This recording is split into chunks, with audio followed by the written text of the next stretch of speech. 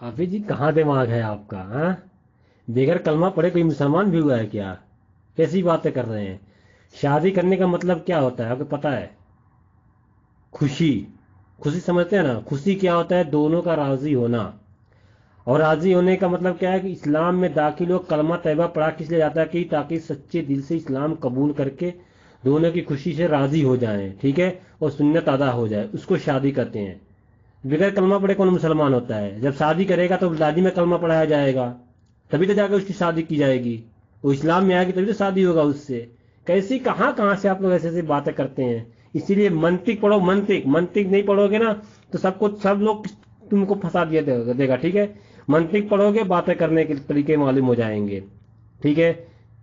जब मंतिक पढ़ लोगे ना तो कोई वहाबड़ा तुमको हरा नहीं सकता है। इसीलिए मैं कहता हूँ कि किसी भी चीज़ को सच्चा करने के लिए मंतिक का होना ज़रूरी है। मंतिक नहीं है तो थक जाओगे।